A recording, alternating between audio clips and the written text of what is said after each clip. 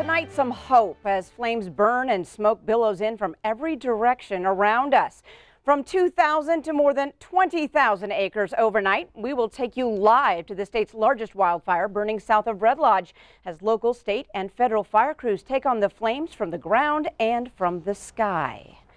A word just down from the fire lines that the Robertson Draw fire was possibly human caused and authorities are now questioning a suspect.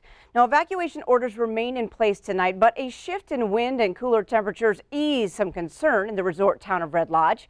For those farther south, the last 24 hours have transitioned from major concern at dusk to great fear as night fell, but daylight brought with it some peace for local neighbors. Well, Q2's Brandon Warren and Chief Photographer Paul Humphrey teamed up today to bring us the very latest. They are live tonight in downtown Red Lodge. Brandon, what can you tell us?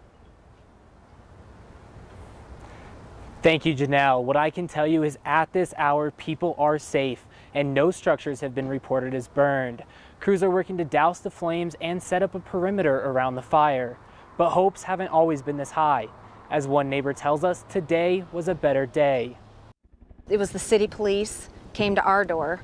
We were outside and just handed us the paper and said, you know, this is what's going on. And that was that. The fire came over the west side of the mountain as it grew significantly. Yesterday morning at 6 a.m. it was estimated at 2,000 acres.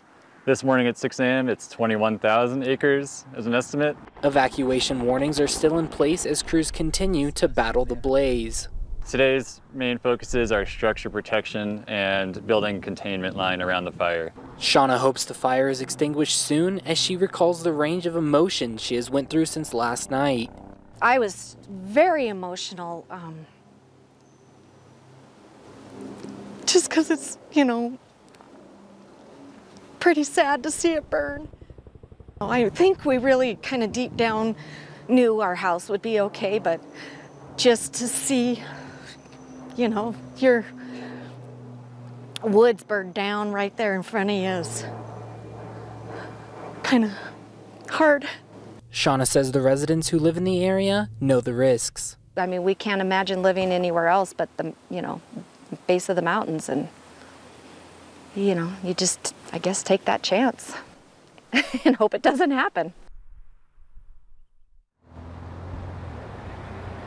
At this hour, air crews are battling the blaze on Mount Maurice right behind me, dousing with water and fire retardant. But for now, let's go back to Janelle at the desk. All right, Q2's Brandon Warren live from Red Lodge tonight. Thank you very much. Well, for those of you living in the Red Lodge area, there will be a virtual and in-person public meeting tonight at 7 p.m. That will take place at the Red Lodge High School gym. The meeting will also be live streamed on the Custer Gallatin National Forest Facebook page. Well, Montana's Governor Greg Gianforte announced today that the state has secured federal management assistance grants from FEMA to assist with costs related to the fighting of the Robertson Draw fire. Now, the grant makes FEMA funding available to pay 75% of the state's eligible firefighting costs. Eligible costs include materials and supplies, mobilization and demobilization, and equipment use.